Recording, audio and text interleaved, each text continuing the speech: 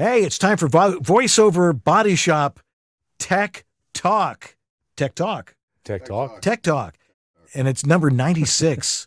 tech talk number 96. Can you believe that? Number nine. Put it back up there, Sue. 96. Look at that. Been doing this for so many years, and there's still tons of stuff to talk about. You know the thing about tech, it never stops moving. It, it doesn't. We're actually going to talk about that in a little bit as well.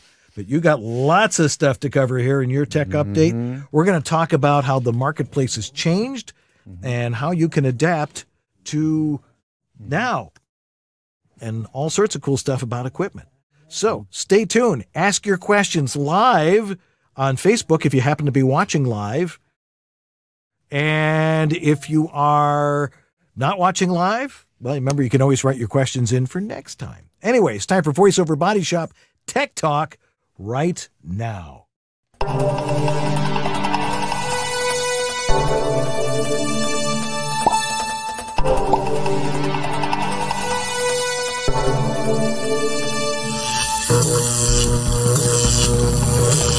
Tech Talk.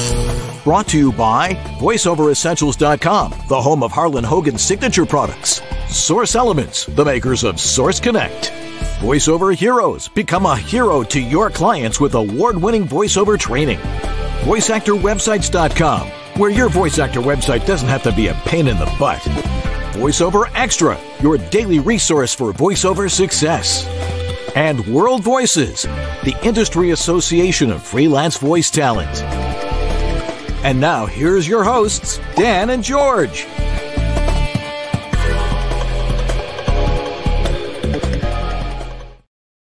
Well, hello there. I'm Dan Lenard, And I'm George Whittam. and this is VoiceOver Body Shop. or VO BS Tech Talk. Tech Tech Talk. Tech Talk. Tech Talk. Yes, we're talking tech here on VoiceOver Body Shop, and uh, you know it's it's amazing how technology has changed. We're going to talk about that a little bit later on, but the thing is, you've got to be able to keep up to date with it, and if you don't really understand all the things that go on in your home voiceover studio, because that's what's allowing us to do all the things that we do in voiceover today. Uh, you got to talk to people who actually know what they're doing. And I spend a lot of time online and look at the questions that people ask on Facebook and LinkedIn and stuff. And people chime in, well, I use this. Well, I use that. And the fact of the matter is, and you've heard me say this a hundred times before, uh, or at least 96 times before, since this is Tech Talk number 96, everybody is an expert in one studio and one voice, except for maybe a handful of people out there in the voiceover world that actually know what we're talking about. Because we're talking about very specific places, which is your home voiceover studio. And a home voiceover studio is a unique environment because every voice is different, every room is different, everything's different. So you need somebody who can understand the basics and how to transform your space into a proper recording space. That's right. Every time you ask those questions on those groups, you're basically taking a survey. yeah. And if you don't know how to interpret that survey information, you're going to be really confused about what to do with that information. Right. And as you so many different answers you're going to get. Right. And as you like, as, as you like to say, don't crowdsource your home voiceover It studio. can be, it would really, when you work with us, it's a shortcut. Yeah. It's really what it is, you know, because we have worked with so many others and we've seen what works and what doesn't work. We've bounced things off of each other. We've bounced things off of our colleagues. We've taken copious notes. Believe me, it's it yeah, it's an investment up front, but the time you save, the direct information you get, absolutely really is worth it. Yeah. That's So if you want to talk with one of us and work with one of us and look at all the services that we offer to help you have a really good home voiceover studio, if they want to talk to George, who's got a major company that is growing, how do they get a hold of you? Yes. Well, you can still reach us at georgethe.tech. Soon to be also georgethe.tech, but a whole new version. I'm not, we don't have a release date quite yet, oh, but we are so close. 2.0.1. We are so close. I'm Yeah. telling you. um, but the new site's coming soon. But we have we, we have uh, myself, of course, available, but many others on our team now available to to take your support requests for your specific things. We have specialists now You Yeah. know? And you don't need a doctor referral. You can go right to the specialist. and uh, so it's it's a really cool thing. So it's all over at georgethe.tech. Stay tuned for that new site, but we're we're available to take your bookings, and we have the nine one one emergency support hotline too, Wow. which uh, has saved a lot of people's Bacon. gigs. so, uh, but anyway, Dan, you're doing stuff over on the web at homevoiceoverstudio.com. you. Yeah. Uh, go on over there. Uh, my site is set up to make things really simple for you. hmm One of the things I offer, of course, and apparently my cup runneth over this week, uh, is my specimen collection cup. Uh, you can send me a raw file. People are saying, look at all the processing I use. Is this right? No. Um, try not to process your stuff. I want to see it raw. I want to see what your your studio sounds like without you doing anything to it because you're really not supposed to be doing anything to it. We're going to get your studio sounding right physically. But you go to there, click on the specimen collection cup and send me a specimen for $25. I will show you, you know, what's working in your studio and what's not. And if we need to do a little bit more further consultation, we can discuss that. But I, I teach this stuff. I've been doing webinars. Uh, We've Mhm. got conferences coming up, and I love teaching at conferences. Uh, so stay tuned for announcements and all that stuff. Uh, that's that's really important. Uh, Mm. So uh, you can get a hold of me. too. Yeah, get a hold of me over at homevoiceoverstudio.com and let's talk home voiceover studio. So you got a lot of pile of stuff here in your your update of the week. Go for We it. sure do. You have the floor, sir. Some pile, some of it's more pile than others. um, but anyway, quickly, there is now multi-channel audio input control in Zoom, and so that really Whoa. makes Zoom different from every other um, conferencing app I'm aware of because now you can choose which channel feeds into Zoom. Oh, So normally Zoom feeds all channels into Zoom, right? That can be a good thing. That can be a bad thing, depending on your on your interface. But right. everybody on Apollos and RMEs and some of the more complicated interfaces that have multiple ins, multiple outs. This is this is big time for you because you can now finally tell Zoom, no, I want you to hear only my mic. I don't want you to hear what's coming back from Zoom. I don't want you to hear what's coming in on the mic in the other room right. just this one mic and uh, you can finally do that or you can say i want to hear this mic and i do want to hear what plays back in twisted wave. So you can there's Oh, more that's- things you can do with with uh, this new version. It's it's definitely a beta. It's got some little quirks like it doesn't remember the setting each time you start the app so you have to always remember to go back in and reset it. Mhm. a little annoying. But um really glad to hear that. And i i have to say i don't know to com- who to completely attribute this to but i do know for a fact that tim friedlander did talk to zoom about something two years ago and said please do something about this and i don't know the journey that that took from their meeting to now but finally the features in there They, they were very busy for the last two years. yeah, I was really glad that they paid attention, though. I mean, they eventually did it. Um, so that's cool, interesting update, and really it does not affect anybody with standard two-channel interfaces. If you're on, you know, a Scarlett or uh, anything that just has two in, two out, not not an issue for you guys, really. Um, next thing, actually, that's not entirely true. So, so All if right. you've got two mics in your booth, let's say you're only using the 416, but you have a TLM 103, and it's sitting Right. right over here Mhm. if you're talking into the TLM 103 or the 416 over here, Zoom is still hearing the 103 over here. So even though you might be sending what th- sounds to you like good audio, and maybe they're hearing good audio, if both mics are on and both mics are gained up on your Scarlett, Zoom is still going to hear both mics all the time. So it won't sound quite as good. It'll sound phasey and weird. So yeah. now it is it could be helpful for you guys as well. Okay. Moving on. Um fire this is something we just heard about. Firewire. Firewire support is no longer in Ventura. So if you've got some folks still are hanging on to an older Mackie Onyx Firewire mixer Right. that didn't burn out or catch fire or just fate, who knows what by now. Um, and uh, it that feature is dead. Now Byron Wagner, good old Byron, posted an unbelievably comp- kind of Well, that's the way he weird usually explains thing things. to try to fix this, and I I I trust that it may be able to work, but it's a hack, and so basically no more actual FireWire in Ventura. Mm. So it, Thunderbolt includes the FireWire spec, and it has for many years now.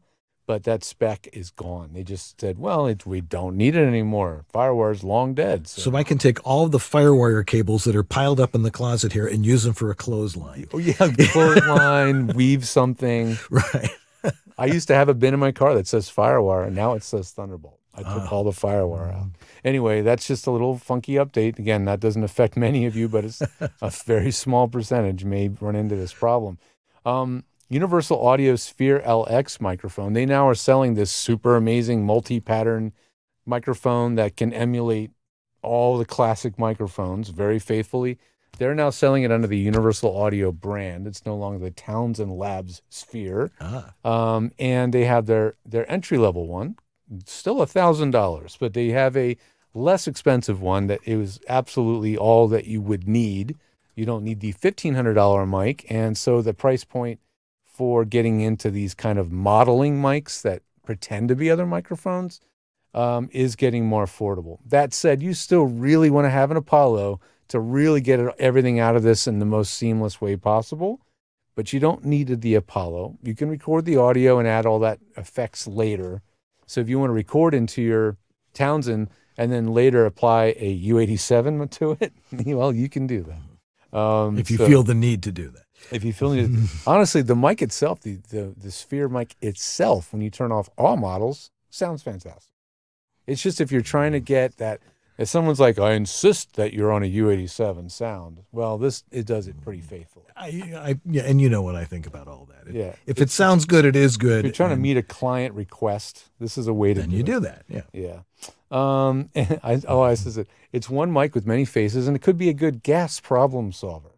Gear, Gear acquisition, syndrome. yeah. If, you, you can prevent you from buying a lot of microphones. Or on the converse, you could buy this mic, try out like seven or eight or twelve mics, Find one, find one that was a surprise, and then eventually save up the money and buy the real thing. Ah, It could good could go the other way. Anyway, um, I did a little survey. I, meaning the crew over at my other my other apartment, the Pro Audio Suite. Um, we started talking about what would be the ultimate audio interface, and we decided to do a little survey about it. okay. Um, I'm going to figure out a way to share it with you guys in a way that you can see it or find it. Maybe I'll I'll probably put it on the Facebook uh, page Mm-hmm. because it's obviously a forum link and it's hard to convey over the show. But it's essentially a form asking you what do you think is the ultimate audio interface?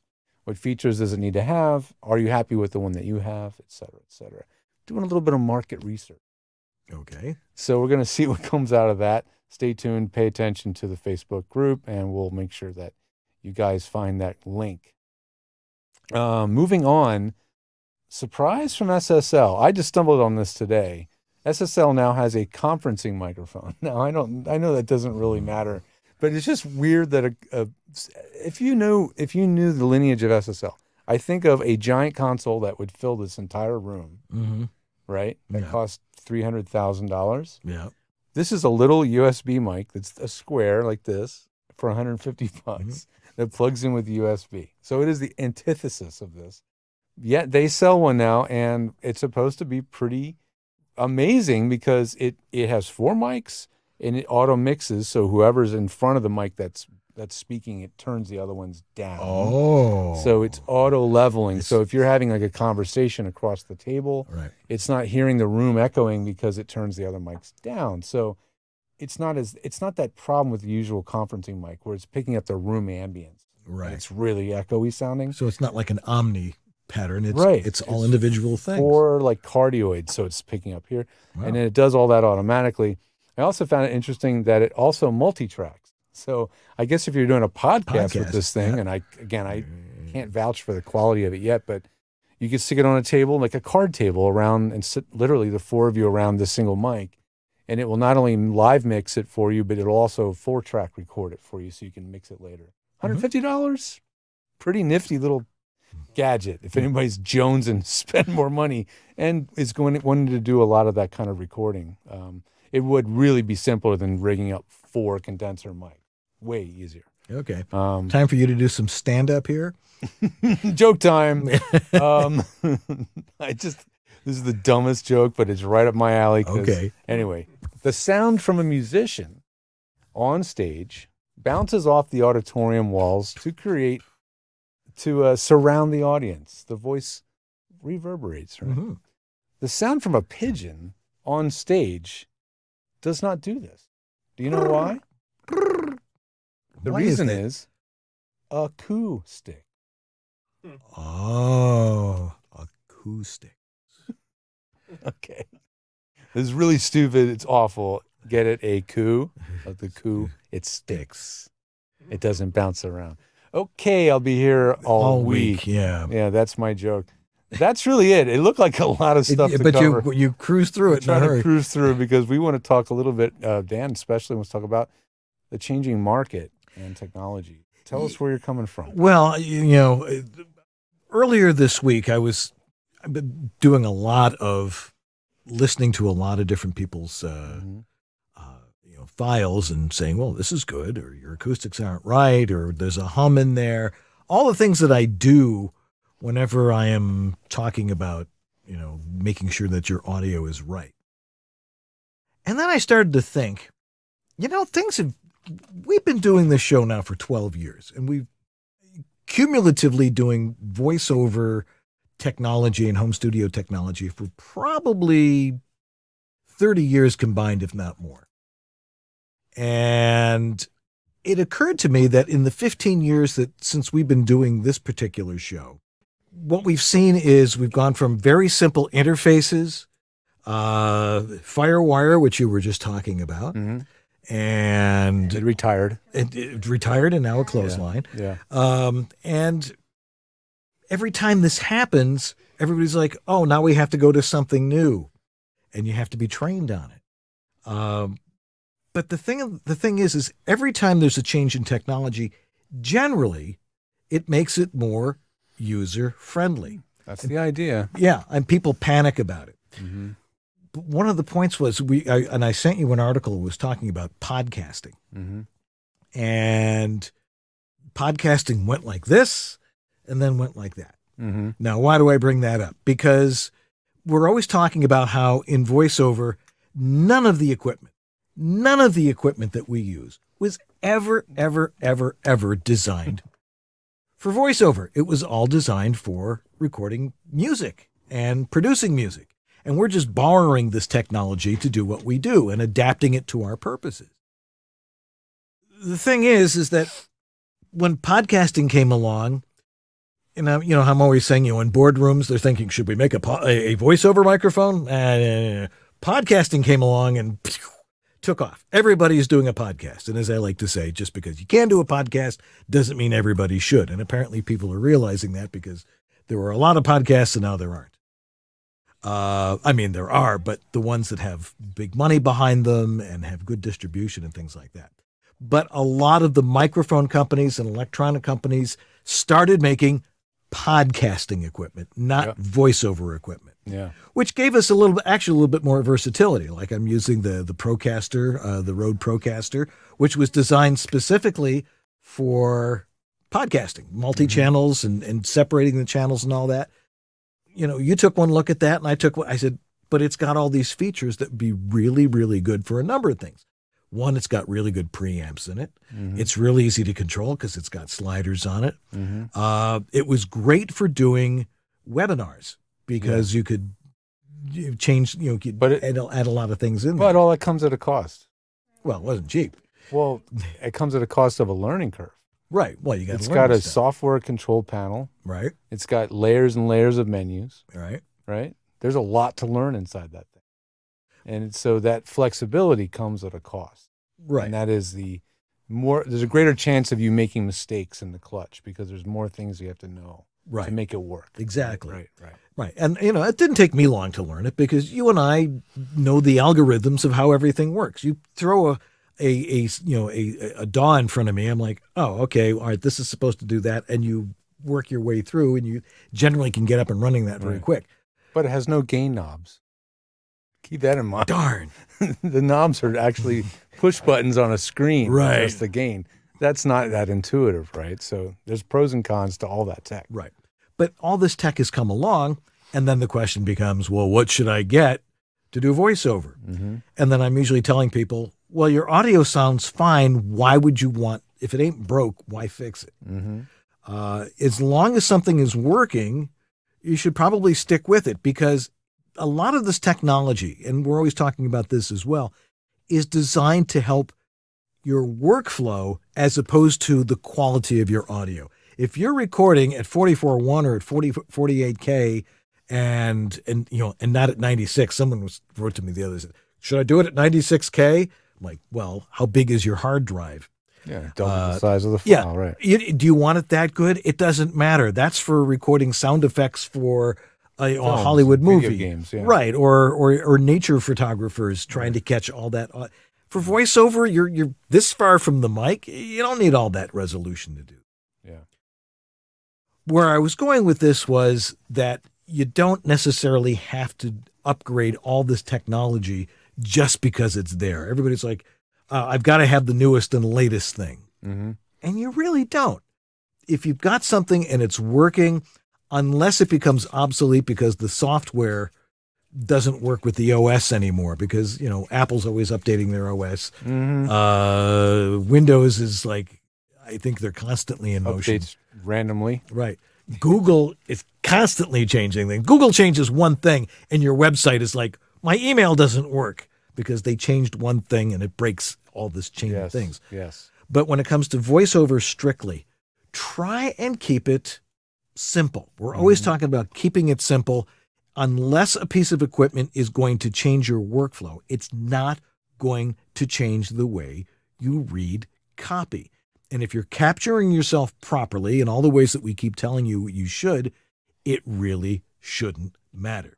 However, if you happen to have gas, gear acquisition syndrome, and you're a real geek and you want to play with that stuff, Oh, like George yeah. does, and I do occasionally. I'm not a geek. I'm like, what works and what works properly. Uh, And what makes, you know, if I, I want to be able to hit record and do my thing, in post, you can do all. My, my thoughts are always in post and getting it right up front so I don't have to do that much post. yeah. Yeah, of course. And so I, I don't worry about, I don't really worry about the technology. Uh, it's some of the cheap crap that was out there, say 10 years ago. Like, yeah, you can dump that, that one because it doesn't work anymore or because it's Firewire Or it was Or- noisy. or it was noisy or the, cha- you know, one of the dials starts getting scratchy or Mhm. something along those lines. Yeah. So that's one way to, to look at it. What are your thoughts on that and how technology has changed? Because you really keep up to date. And actually, I came up with a new term. I, Oh, what's that? you know, there's people are always saying, "Well, I'm, I'm, I'm, I'm technically inept," or "I'm, I, I can't handle the tech. I'm intimidated by tech," Or I'm Amish. I- yeah, or something like that. one. I wonder how many Amish voiceover people there are. Probably not a lot. But the thing is, is I've now come up with a new term. They are technonauts. Techno knots. Techno N O T. T- N-O-T. Yeah, techno knots. Technonauts. Yeah. yeah. um, yeah, I'm. I'm for one. I am frustrated that uh, the audio industry has not embraced the voiceover business, despite the the evidence showing that there's a tremendous amount of people that need this equipment um, and need equipment that's suitable for their needs. Again, isn't hopelessly mired in firmware updates, software control panels, layers of menus, on and on and on, which is what we don't want. We just don't want that stuff in the way. And so, uh, yeah, I'm I'm frustrated that that gear is either if it's on the analog side, it has way too many features because it's a mixer, right? Mhm. And it's mixing things. Right. We don't need to mix anything. All we need to mix is what we hear in our headphones, right? Right. And then you've got the digital side where you have unbelievable flexibility, complete customization, like the uh, interface we use to mix this show. Unbelievably flexible system. It does unbelievable numbers of things. It has an incredible. Uh, look at this user. Let me see if I can bring the user interface up just so you guys can see. This is the user interface of what I'm using right now to mix the show, right? It has an unbelievable amount of layers of functionality, right? On and on and on and on and on. And it's perfect for doing what we're doing, Yeah. right? It's Except that having it doesn't make you sound better. It's knowing how to use it. Yes, yes. So I could make this thing be a fantastic sounding home studio interface, but it would require paying a guy like me to program it, get it working the way it needs to be, and then I have to tell you, don't touch anything, Yeah. which is not the way I want to set up a home studio. Even Right. with even in the analog days, I didn't like to know that I had to, um, you know, had to worry that if someone would touch that button or that knob, it would break things Right. or that button might get dusty. And then if they don't press it every year a few times, it will sound scratchy. On and on. You know, it's like so yeah, it's it is frustrating. There's a huge hole, I feel like, in the market for um an a, an interface system that is just for for us, for for what we do, Right. you know, and I want I want to see that change. Yeah. I mean, there are some very simple interfaces. I- of course. You know, I mean, and ones that are really good. You know, the the you the- know what? And they were suitable 10 years ago right, because nobody had to do playback. Nobody had to interface with Zoom. right, All your job was was to literally hit record right, and edit and then send the file. That was all you had to do. Right. But now it's like, well, you're going to be on Source Connect and then the client's going to be coming in on Zoom. We're going to send you a video as a reference and we'd like you to be able to share that video with the client because we didn't pay an engineer to do that. So it's Mm-hmm. your job. And this is the kind of crap that voiceover actors have to deal with, are saddled with, and it needs to be easier for them. no, You know? que- no question about Yeah. it. But there are units that you know, if all you're doing is one track, which is what you should only really be doing, unless you're doing all these other things. And generally, if you move into the spot where you're doing all of that kind of stuff, Mhm. chances are you're making enough money to be able to invest in that better equipment in order to do that. Kind If it stuff. existed. if it existed. I'm just saying. Check the survey. I mentioned it earlier in the show. I will put it on the website. Fill it out. You tell us what your thing does or doesn't do, what you need it to do. And I just want to know more because I'm curious about what it would take to solve those problems. Okay. I won't go into more detail. I cannot. Okay. Uh, mum's the word. Okay. If you've got questions for us, because as you can tell, because of the troubleshooting we do, you can tell that we actually know what we're show. talking about. Live on the show. Yeah, just plug it in and this over here. That'll that'll change things. Uh, but if you've got a question about your home voiceover studio, anything has to do with interfaces, microphones, acoustics, because we all know that Pigeons. Pigeons, yes, because the acoustics are very important. Um, any one of those things, if you've got a question, something that's bugging you, or you've got a problem with your studio, throw it in the chat room, whether you're on Facebook Live or YouTube Live, or you're watching this via, you know, shortwave. Shortwave still on? Yeah, I know several people still doing shortwave, but the internet sort of killed that forever. DXing. Yeah, um, but still fun. But anyway, if you've got a question about any of that stuff with your home voiceover studio, throw it in the chat room right now, and we will get to your question in just a little bit. But we're going to take a break right now, and we'll be right back here on Voiceover Body Shop. So don't go. Away. Hi, this is Bill Farmer, and you are watching VoiceOver Body Shop. It's great. From VoiceOverEssentials.com, it's the relationship savior, the multicolor LED VO recording sign. Not just a stock on the air or recording sign, it's our exclusive voiceover recording sign. This brilliantly lit LED 20 color beacon tells everybody at home, which is currently everybody, hey, I'm auditioning, recording, podcasting, narrating, or broadcasting here, and a few moments of relative quiet would be very much appreciated. What's more, the wafer thin remote control lets you choose a multitude of options, from color to brightness, flashing to fade in and out. You can even set up your own personal codes. Red means I'm recording, blue, playing back, green, it's a wrap. The voiceover recording sign, get not one but two remotes, is about to end. Two remotes makes the sign even more valuable since your significant others can send you messages as well. Or, of course, you have a backup if the dog decides to bury this cool thing in the backyard. Order yours now for just $69.95 from VoiceOverEssentials.com. And I will just move out of the picture.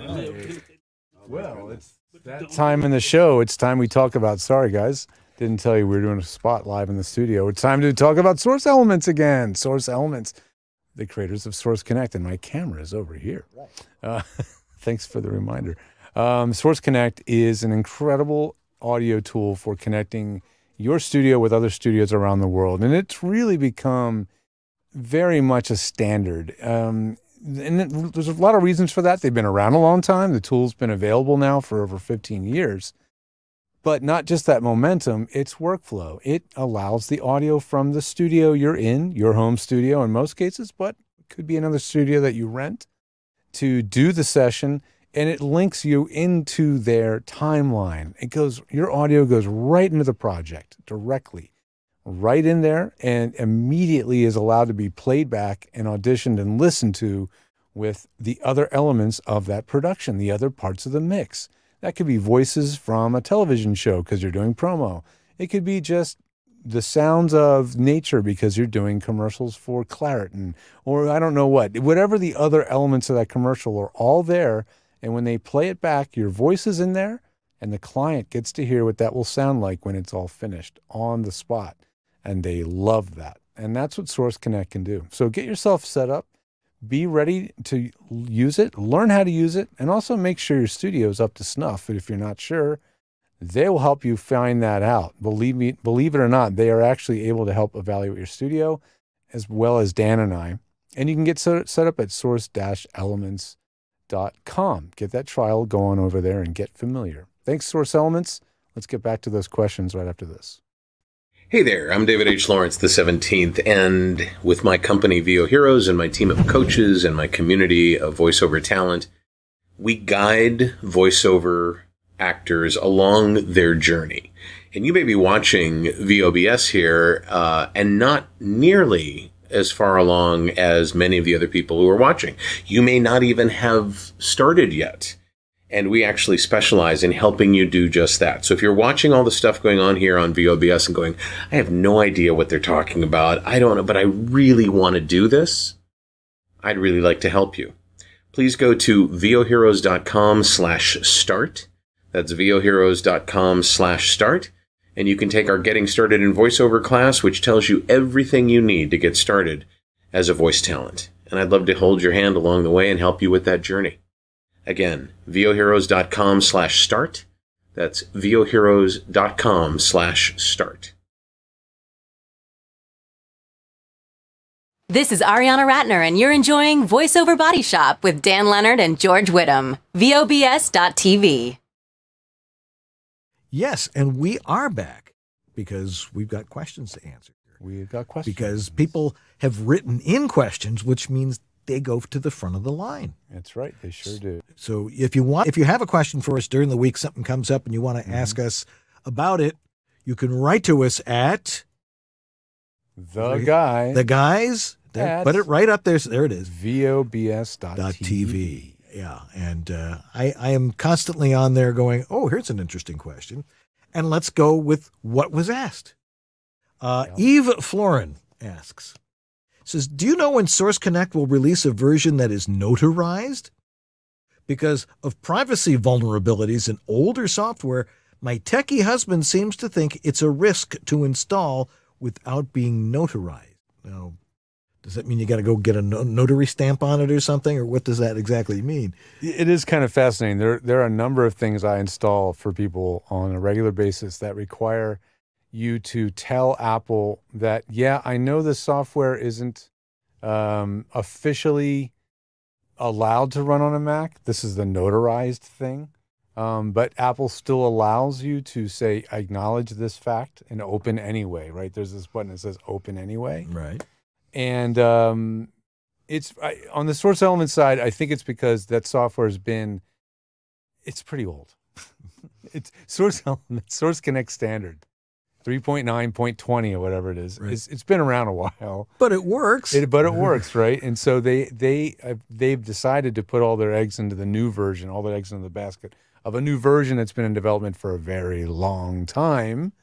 But when it comes out, they'll have all those ducks in a row. But for now, they're relying on the fact that Apple does allow users to open an application anyway, even if it's not notarized. Mhm. The only reason to not open something that's not notarized would be to open and install install and open something from somebody you have no effing clue who it is Yeah, like if it's from a completely random website somebody somebody said here's a beta thing i heard or this thing is free it's amazing but you don't know anything about the company and they have no reputation that's a bad idea source elements has a long standing reputation they are trustworthy If you can't trust who you're installing and you have to do the open anyway thing, then I would be a little bit more concerned, right? Right. I get that though, and yeah, every app should do that. It's it's Apple protecting you, and it's also Apple getting everybody to send them a little bit more money. It's a little bit of both. A little bit of both. They don't have enough. no, it's a good question though. Part two to that question, Yes. which is more to the point about what we usually talk about. Yeah. Not that Source Connect isn't something we don't we talk about. Uh, she says, I have a Presonus Audio Box USB 96, and in order to have my voice reach between minus 12 and minus 6, yeah, sort of, uh, I have to turn the gain up so much that it raises my noise floor. Any advice for a different preamp? It's What mic is it? That well that was my immediate question and I, I have not heard back from her i'm like well, Okay. what, what mic is it Yeah. but that has more to do with the microphone itself than the preamp because Typically. yeah a PreSonus audio, audio box 96 got the resolution it's got a good preamp in it it should not be a problem so what i'm thinking is if it's the mic it's she doesn't say if it's a, an audio technica 2020 or uh, some, Yeah. something along those lines that is not perhaps the best uh, mic. A lot of them have a lot of self noise, and the more gain you give it, the more noise you're going to have. Right. Or, and this is the one that always gets me because I, I forget when I'm talking to people, what mic is it? Does it have a uh, a pad on it? Oh yeah. Does it have a 20 a 20 dB pad or a 10 dB pad? People are like, oh, that should. I guess that's something important. It should be on. It cuts the sensitivity of the mic by 10 or 20 dB. That's right. And then you got to really crank the uh, the interface, and that brings up the noise level. Yeah. So whatever mic it is, if it has switches on it, like an AT uh, 2025 has those switches. Yeah. The 2035 has pads on the bottom, right. and a lot of other mics have a pad switch. Yeah. You do not want to use a pad switch for a spoken word voiceover. Right. Maybe screaming, but any standard spoken word, you do not want to make the mic less sensitive. So, also, I don't know if she could be using a dynamic mic. That's Typically, have much lower output. ah. if you're I using- bet she's using an RE20 or an SM7. SM7B. And if that's the case, yeah, you probably do have the gain maxed out. And if you have to run the gain wide open, hiss is your is what's going to result. right. That is almost always going to happen on these very affordable audio interfaces, noisy preamps. Right. If if you happen to go to one of the retail online stores, and we won't mention any names, um, you know, like Banjo, Banjo Emporium Emporium. or or the the um, Bitter Well, um, I just came up with that one. They are they're like they have no idea what they're talking about when it comes to voiceover. No, They're they're recording engineers and they're musicians, and they have no idea that you're in your closet. And they see people buying SM7s and RE20s and stuff because that's what people are using for, because we were talking about before. they see it because it's Podcasting. on podcasts and YouTube. Right. Yeah. That's not voiceover. And the SM7 is great if you're Bruce Springsteen and singing real loud into it. And I know he actually uses one. Mm-hmm. But for voiceover, you need a studio condenser mic like this one and have it set up right in the right environment because shotgun condenser mic like or like like that one, both of which I own. Um, so that's I think that's an important thing that people need to understand is do not use a dynamic mic. If someone says, "Oh, you need an SM7 from Shure," tell them goodbye because they have no idea what they're talking about. Stop using those. Now, I'm sure people, "Oh, just put a cloud lifter on it," which would make Roger Cloud very happy he is already very happy. be about this. Yeah. He's fine. Yeah. Roger's fine. right. So don't worry about it. They've sold tens of thousands of Right. those. Things. Great for ribbon mics, especially if you like ribbon mics. But those are specialty type items. For straight voiceover, get a fine quality studio condenser mic, and that will probably solve your problem. So as you can see, the less con- the less complete your question, the longer the answer, because we don't know so many different variables. Okay. Um, Now- Florida Dave. Yeah. Now I got this email today. Go to that website and see if you can share that. GoTools.com. All right. uh, because what, what what he what he sent us was this fascinating thing where okay Go tools or go to tools. go to tools yeah That's so- what we're looking at. yeah go to tools has knockoff microphones and he sent me a picture and it looked like a Neumann U87 Like it's not the right domain. Huh? Okay. Uh, well, Go to tools.com or is it something else? well, something like that. I T O O tools? try that one. No. not- Well, yeah. anyway, Mhm. the question was: This is tempted to test drive this and see what the actual response curve. They say frequency response curve one times one reproduce well known design. Well, one, the fact that it's in bad English gives a clue. There, these microphones that look like a TLM 103 and a U87, and 103 bucks. Mhm. And I'm like, should I test drive this? Uh, and of course, then there's all this, you know, fake Ah. reviews on it underneath saying, oh, this is one of the greatest things I've ever seen. Uh, Spell with a Z. yeah. Go to tools. go to tool. There you go. All right. Yeah. You, you cannot buy a good quality studio condenser mic that looks like a U87 or a TLM 103 and think that it's going to do great for you. It's nonsense. They've probably put an Electret condenser microphone in it and said, oh, look, it's a U87. They even have like a blue uh, diamond uh, logo on it. See that? Yes, they do. You know, Wait, that's not just any blue diamond logo. It's but it says go to tools on it. Oh, that's oh, uh, Why okay. why do they have a picture of an actual Neumann microphone? Uh, because the one they sent me does does not have that. What? Anyway, the fact of the matter is, unless it's yes, these are like horrendous knockoffs. Don't even think about it. They're going after people saying, "Oh, they're going to buy." They they don't want to spend a thousand bucks. This one took to you know cost us you know five dollars to build, and it, it's you know and they're charging a hundred bucks for it. Yeah, I, I'm just I'm I'm creeped out that the, the microphone that's on their website. Is an actual Neumann. Well, it has Neumann badging on it. Ah, okay, but That's the, the part that really bugs me. Yeah, and, and well, it should. So, so Florida Dave, no. Not yeah, major red flag there, man. Major red. Well, it's could you get lucky? Yes, you could get lucky.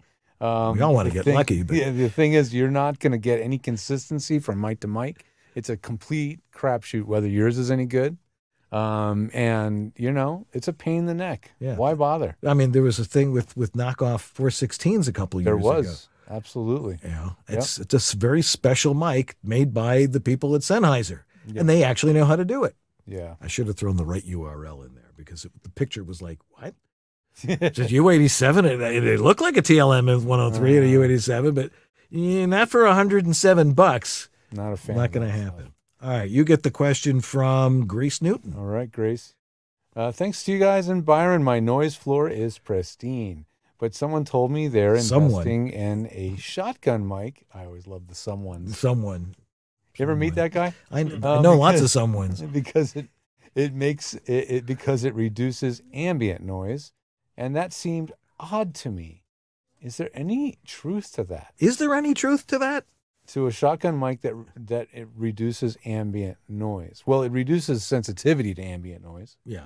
So, you know, because a microphone that's a shotgun type mic is more directional, Right. and thereby doesn't want to hear more of what's around the microphone. It's more direct. It's more directional, less sensitive to ambient. But we can demonstrate that because Sure. if I go like that in front of a 416 and then I go like this on a 416, you can hear that it is the axis is very, very narrow. Yeah, I'll mute your mic for a second. So Okay. here's the here's this microphone. So you can hear it picks up all the fingers moving, the details, mouth noise. And then as I go over here, it picks up far, far less mouth noise. It sounds more dull. And so any sound that's like more background hissy noise or, you know, white noise or room noise or whatever, the mic's just going to hear a lot less of it. Right. So, but a 416 is a great mic. Mm-hmm. Bless you. Uh, the 416 is a great mic because it's very versatile and it's designed to pick up a human voice It is. from a distance. So you don't have to really be on top of it. Yeah, you can if you have a good room, you can be pretty far away like I am right now. In fact, you can see I can get pretty far away. I'm what am I about a foot? Yeah, it's about a foot and a half, inches, yeah. maybe. And you can still I can still get a present clear sound, but as I get closer, it gets a little bit more focused, a little bit more rich, and as I get closer, you get a little bit of proximity effect and it gets more and more kind of a it's like a zoom lens, you know, it kind of zooms in the voice. So 416, great microphone. Knockoff, not good idea. Yeah. All Dave right. G. Yes. Uh, Dave G says, this is now, this one's designed for me. Okay. Acoustic fabric, worth the upgrade on my sound panels? Or is this ant? F- yeah. Ant. Okay. Okay. Yeah. Um, sound panels. You can make sound panels real easily. Uh, there are companies that make really good sound panels. Mm-hmm. The thing is, is I have seen them made out of fiberglass, like you know, audio, uh, you know, muting type fiberglass, rock wool. Um, amazingly, and you see this on, on, on YouTube a lot and in some articles, old towels. Old towels. Oh yeah, the DIY perks guy does right. that. Works great. You know. Now, the moving blankets from Harbor Freight. Okay, I actually mentioned a place, but they're cheap. They're, and you know they were having a giant liquidation. I was really afraid for the giants, but the Especially the liquid giants. yeah yeah, but you know giant liquidation. No, watch out. They were they were like practically giving them away, like four bucks a piece. I'm like, Did it "Geez." smell like a chemical factory? They did not. They Oh, did that's not. The blue ones do. The black ones are a little better. Hmm. They make now one that's like it's like eight feet across. It can cover an entire booth with it. It's just amazing. Mhm. Uh, and it's green. So if you're like a green, you know, uh, Trying to get a green screen in, in your back of your booth, you can do that. Two that's for ex- one. it's exactly just a little bit of quilting in it. Uh, but uh, yeah, no, that's the, the blankets are great, duvets are great. Uh, but the, the question is, is it acoustic fabric? Is it worth the upgrade? Acoustic fabric, if you're talking blankets, great stuff. Uh, I'm still confused what the question means. Acoustic fabric. Like I'm thinking of that. That's what you wrap your acoustical panel in, right? Isn't that what he's referring to? I'm not quite sure. Because acoustic fabric is essentially acoustically translucent. It has no sound of its own. Right. It and it sound will pass right through it Right. into the the absorption material. Exactly. It's like speaker cloth or something. Right. It looks nice. It's designed to make your panel look nice or co- color coordinate with your studio or whatever, but it should have no sound of its own. So I don't know if that's what you're specifically talking about. If you're trying to just upgrade what you already have and make it look pretty, that's great. Get Yeah. some nice acoustical fabric, Yeah. um, you know, Yeah. and, and, and wrap those panels. Yeah. Now I now as people know, I'm into antique radios. Mm-hmm. And sometimes the fabric on something that's 70, 80 years old just deteriorates. Moth eaten. and- Yeah, exactly. And you got to replace it. But they make material for speaker grids for old radios, which is, I guess, acoustic Is that fabric. what's going on over there with that? well, it's some carpeting or something. I don't Mhm. know, but it works, so it doesn't really matter. Yeah. Uh, but I, I will, I will add those in. But they make that type of fabric. So, is it worth the upgrade? Mhm. It depends on what's on there now. If it's working now, Exactly. it doesn't really matter. Right. Oh, Okay, one's from Jeff. That means I get to point the camera at Jeff. A little Well, bit more, a little that- bit more, a little bit more. Keep going. Yeah. Okay. Down and Bingo. go. He's not really there, but I love it. That looks cool, man. Actually, I like that. yeah. You should get that printed on the shirt. Yeah. Ask your question. George, does Source Connect work for audio uh, only or for video as well? Does Source Connect work for audio only? I had the microphone off. Sorry about that. Okay. Um, say it again, Jeff. Does Source Connect work for audio only or for video as well? Source Connect itself, the actual Source Connect app, is only carrying audio. There's no video signal. It will synchronize video. Like if you if somebody sends you a video file and you do have to use a more sophisticated application, Twisted Wave won't do this, but you could do this in Reaper or Audition or Twi- Pro Tools or Sound Studio, uh, Studio One. It has to be a multi-track DAW. Then you can have the video that's on your computer play back in synchronization. It's called RTS or Remote Transport Sync. So this is used occasionally for ADR, doing ADR remotely, because you need to lap match the lip flaps, right? So then you're re- recording along, and the video is playing along, and you're watching the, and they'll like take it again, take it again, take it again until, until you nail the take and it matches. Um, that's one of the very few scenarios where I think the video is an, is is ever a factor with source code. But generally, um, very little video is being used in any Source Connect sessions that I've seen. It's rare. Right on. Thanks. Yeah, sure. All right. Uh, question from Carlin Tools, watching us on I love YouTube. that guy's name. I don't know why. I- It's because it's George Carlin. Carlin. Carlin. reminds me of George, and I love George. And it's Tools, which who doesn't love Tools? Hey, use this drill. What is not to love about that name, Carlin Tools? Anyway, Okay. Anyway, he says, I use an Apollo twin in my studio, which Mm-hmm. we're no longer really recommending it to people, are we? only if you hire me first. Oth- Otherwise, you're, you're you're totally screwed. um, is there a travel version or a similar you recommend for traveling? Why do people buy Apollo twins, and why do people keep recommending it? It has to do with the stuff it does that isn't really necessary.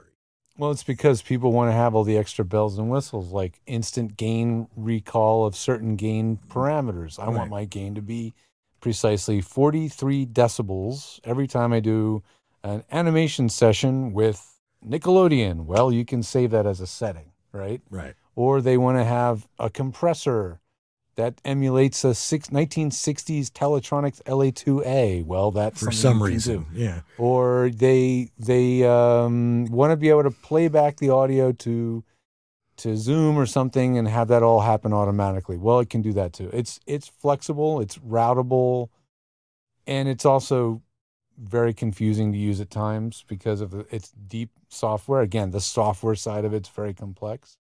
Um, but the only thing they make that's close to being travel friendly would be the Solo. It's still pretty chunky. It's still a box like this, about this big. Yeah. You know, it's not small, but the Solo does plug in with Thunderbolt 3, which is any of the Macs from the last eight years, maybe Mm-hmm. since 2016. And um, so it plugs in with one cable. So it's kind of portable. Right. It's still not, it's not a MicPort Pro Right. in terms of portable. Right. So, but the thing is, is if you're on the road, all those presets mean diddly. Well, yeah, because those are going to be all tuned or set for your home studio. So they may not be relevant to your travel setup. So you have to be aware of that. Um, so yeah, it, your mileage may vary. Right. I've tuned those for people that are traveling. I've even tuned one for one of my clients who works in his Tesla when he's between locations and Mhm. he has to do a trailer. Talk about rarefied air. This is very few people doing this, Yeah. but it happens, and then he loves that. Loves to be able to do that. Right. and and, and the, the the thing is, is there are really good rigs for travel. Like Mhm. we've been talking, we talk about the CEntrance, uh, the CEntrance MicPort Pro Two And has a limiter on it, and Yeah. and, the, and the three and the mixer face. Yep. They're much smaller. They're the, the size of a cigarette pack, if you remember what those Yeah. look like. and no Uh, quality compromise. Oh, none whatsoever. sound. And the sound is great. And, you know, we've recommended it to some very high end people, and they're like, this is fabulous.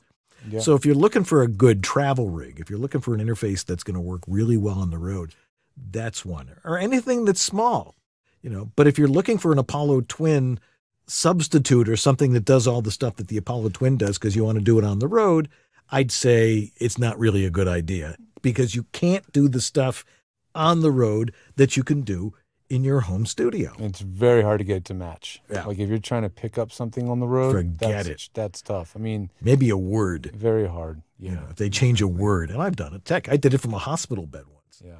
with my iPad. Yeah. I will say this if you're super in love with the plugins from UAD, they do have Spark now, which is like letting you run UAD plugins on your DAW without the UAD hardware. That is a thing now. Mm-hmm. So you could still, if you're really, really in love with the Avalon 737 or the whatever preamp processing thing, you can run those in Spark, UAD Spark, and that lets you run those plugins and even Twisted Wave or whatever, and get the same exact processing without the actual physical hardware. So Cool. there is that workaround if if the plugins are what you're looking for. Okay. Now, Dave, Dave- G has Clarification. clarification. We always appreciate. He says further explanation to his question. Okay. This question is about the DIY burlap cover for sound panels versus acoustic fabric. For, Oh. Uh, all right. The burlap covers. Dave, Fine. does it work? Yeah, it's fine. I mean, are you are you inviting you know your your your your local senators or whatever in there? You want to impress them? Yeah, you might want to do something. But wasn't there wasn't there the company that had the coffee bags Yeah, the coffee bean bags and on them. You could paint anything you wanted on them. Yeah. That was cool. ATS Acoustics literally can get them panels wrapped in used coffee bag. Yeah. I mean, that's a thing. So I mean, don't the- worry about the it. The burlap works perfectly fine. Yeah. If you're trying to get this like furniture grade fabric that looks really, really high end, then buy the upgraded fabric from like Gilt, the Guilford of Maine brand fabric. Um, ATS has a, uh, a fabric that's more like a um, micro suede. Ah, yes. and that it, that works pretty well too. Um, but yeah, it, otherwise they're all going to sound if they're designed correctly, they're all going to sound the same. Right. It's just a matter of how they look and the fit and finish. Right. And that's that's always something interesting is people the aesthetics of their home studio. Like yeah, for some people it really matters. it really matters. But to me it's like nobody needs to see how the sausage is made. If you're in your closet around all your clothes and stuff, what good is, you know, well, I want the nice fabric. Hmm. You know, I mean, yeah, I wanted red seats for my Camry, but you know, that's something I use every day and other people get in my car right, and then presses the heck out of them. But right. uh if that's important to you, I mean, you might, you know, you might be on camera a lot more these days, and then it becomes more important to some of you guys. So it's up to you. But right, Whether it's a waste of money or not, that's up to you. right, We can't tell you that. That's up to you. right. So Did I say that's up to you enough times? I because four times. because it is up to you, not you, but get up the to point. them. Anyway, That's gonna, right. That's going to wrap it up. That's gonna wrap- questions. yeah, that's that's, and I think that's plenty uh, because I think we covered an awful lot of stuff tonight. Good. You're not gonna you're not gonna get this stuff anywhere else. George and I do this all the time. There are people that are like engineers and they're like, oh, you got to use this processing and use all that. It's not your job. Your job is to consult with people who actually know what it is you're doing in your closet or your PVC booth or in your studio bricks or vocal booth to go or whatever. That's right. But every room is different. Every voice is different. Every single home voiceover studio has to be tuned to you. And it's it's not what you have, it's how you use it. And Yeah. that's what we explained to you. Mm-hmm. So that's going to wrap that up. Right. Okay, but it's not totally wrapped up because we got to take a quick commercial break and then we'll be Hmm. right back to tell people what's coming up right after this.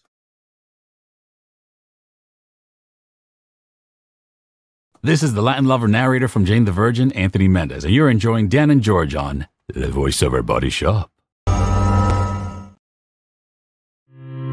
In these modern times, every business needs a website. When you need a website for your voice acting business, there's only one place to go. Like the name says, voiceactorwebsites.com. Their experience in this niche webmaster market gives them the ability to quickly and easily get you from concept to live online in a much shorter time. When you contact voiceactorwebsites.com, their team of experts and designers really get to know you and what your needs are. They work with you to highlight what you do. Then they create an easily navigable website for your potential clients to get the big picture of who you are and how your voice is the one for them. Plus, VoiceActorWebsites.com has other great resources, like their practice script library and other resources to help your voiceover career flourish. Don't try it yourself. Go with the pros. VoiceActorWebsites.com, where your VO website shouldn't be a pain in the you know what. Your dynamic voiceover career requires extra resources to keep moving ahead. There's one place where you can explore everything the voiceover industry has to offer. That place is voiceoverextra.com. Whether you're just exploring a voiceover career or a seasoned veteran ready to reach that next professional level, stay in touch with market trends, coaching, products, and services while avoiding scams and other pitfalls. VoiceOver Extra has hundreds of articles, free resources, and training that will save you time and help you succeed. Learn from the most respected talents, coaches, and industry insiders when you join the online sessions, bringing you the most current information on topics like audiobooks, auditioning, home studio setup and equipment, marketing, performance techniques, and much more. It's time to hit your one-stop daily resource for voiceover success. Sign up for a free subscription to newsletters and reports. It's all here at voiceoverextra.com. That's voiceoverxtra.com. You're still watching VOBS? All right. All right. Why, man, we just packed this hour with stuff that people didn't even think you could even talk about. Hour plus. Absolutely. but we'll we, we will be back next week with another great guest live on Monday, February 20th. Excellent. Who that guest is? A couple of people that We have our lines in the water. Right. all right. Uh, we need to thank all our donors. Great people who are helping us out and making sure that we're able to keep things technically perfect, Mm-hmm. except for one particular power block. But that's a whole nother story. A, a power block anomaly. That's really.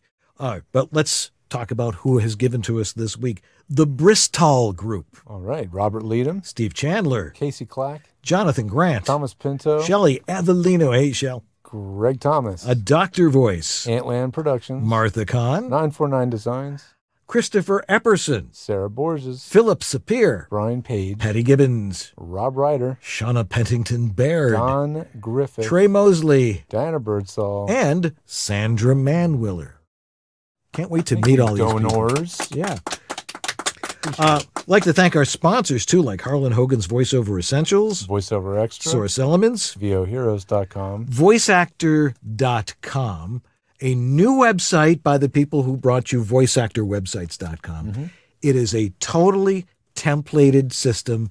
You can go in there for nothing to start with and get your voice actor website up. We, we just started playing with it. My 10 daughter and I. 20 we're- We're minutes. to finish our your website. because all you need with your website is your name, maybe your picture or a caricature of yourself, your demos, and your contact information. And that's all you need. And this will get you up and running as opposed to waiting six months to get a website because you're not putting everything in. Voiceactor.com.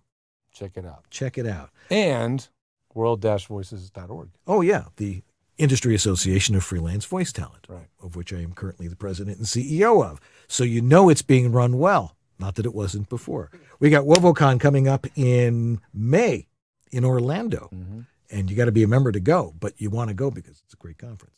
Mm-hmm. Anyway, if you have need help with your home voiceover studio, the best place to go is to go to either George at George the dot tech and and over at homevoiceoverstudio.com. And that is going to do it for us tonight. We need to thank Jeff Holman for, Thank you, Jeff. for coming in and doing the job that he does. Sue Merlino, mwah, Thank you, Sue. we're not even here tonight, but she did Virtually. a, did a great job. Our audience. Yeah, thanks to our audience here. And that's going to do You it guys for were us. awesome. Right. Well, look, this is not an easy business. There's so much you got to know. You got to be a good actor. You have to know the business.